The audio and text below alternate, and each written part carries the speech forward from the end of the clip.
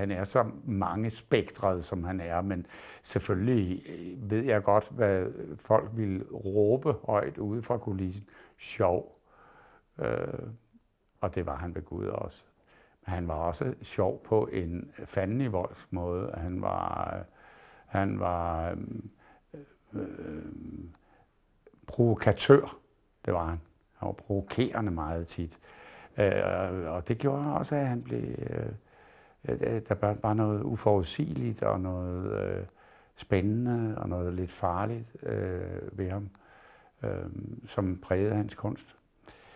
Øh, så altså, det sjove var øh, hele tiden fyldt op af en, af en hel masse dybere ting. Røse var først og fremmest et, også privat, et øh, meget følsomt gemys. Meget, og det, og det er sagt med, med stor øh, veneration over for ham, øh, fordi han var et ægte følsomt øh, menneske. Han var et kærligt menneske. Med, med et meget stort hjerte for folk. Øh, og, og, og det gjorde også, at, øh, at det indimellem var svært for ham. Det var hårdt for ham. Han brugte meget af sig selv.